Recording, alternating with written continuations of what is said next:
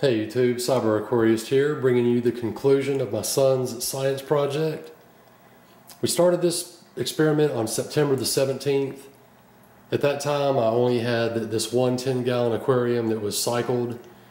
This aquarium I set up a few months ago as a hospital tank for my African cichlid aquarium. And we had to have a control aquarium. So I purchased another 10 gallon aquarium and we set it up on September the 17th and I used Seachem's stability to, to get this aquarium to cycle as quickly as possible. The cycle of Aquarium B took 20 days and I'll do a more in-depth video of the cycle of this aquarium but right now this is the results of my son's uh, science project.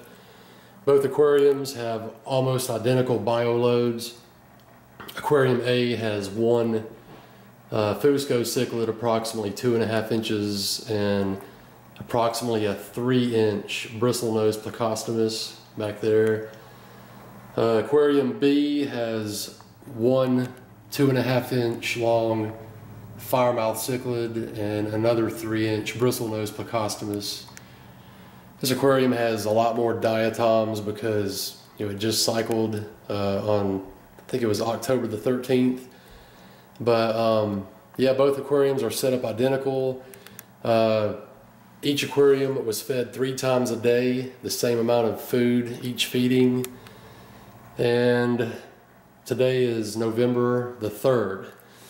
I just did a nitrate test on, I did a nitrate test earlier on both aquariums, but for the purpose of this video, I did another nitrate test on aquarium B and this is using Seachem's multi-test nitrite and nitrate test kit. This is much more accurate than API's uh, nitrate test because the API test kit will read from 0, 5, 10, 20, 40, and 80 parts per million. See here, uh, Seachem's test kit, let's, this should get much more accurate. This is a current reading of 2 milligrams per liter or parts per million. And I'm to pull the, the chart here out of this just to show you. The, the top numbers is your uh, nitrate or nitrite reading. And your bottom numbers here this is for your nitrate results. Um, you see it goes from zero all the way to two, five, seven and a half, 10, 20, 30, 40, 50 so you can get much more accurate with this and we had to uh, since this this was for a science project and we had to graph the results on a week-to-week basis. But um, there you have it. That's uh, two two milligrams per liter in aquarium B today. And we graphed out the results here. I'll show you this graph. Okay um, this is the nitrate concentrations in aquariums A and B the vertical column is the nitrate concentrations in milligrams per liter from 0 to 16. And the horizontal column, or the horizontal row, is the days. Like I said, we started this experiment on October the 13th. And, well, we started it on September the 17th, setting up the aquarium, but the actual experiment started with the tests on October the 13th. You see, um, both aquariums had an initial nitrate concentration of 10 milligrams per liter. Actually, aquarium A had a concentration of 20 milligrams per liter, but in order to start with the same values, I did a 50% water change on aquarium A to get the concentrations to 10 milligrams per liter. So after that first initial 50% water change, we started with 10 milligrams per liter in each aquarium on October the 13th. Then I conducted another 50% water change on each aquarium and we got the results down to, or the concentrations down to five milligrams per liter. Then we allowed one week to, to elapse without conducting any water changes. The aquariums were given three feedings each day and one week later on October the 20th, we did a nitrate test before our water change and the results were 15 milligrams per liter in each aquarium. That was an increase from 5 to 15 an increase of 10 milligrams per liter. So 10 milligrams per liter was our weekly rate of production.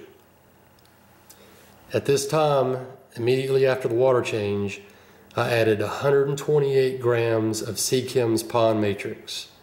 Uh, I used established media out of the sump in my 150 gallon aquarium. So keep in mind I'm starting with established pond matrix. It takes a lot longer for it to to uh, colonize when you know whenever you first add it to your aquarium. But for the purpose of this experiment, the, the experiment is due on Wednesday. I had to get these results quickly. So October the 20th, 128 grams uh, was added per uh, each aquarium.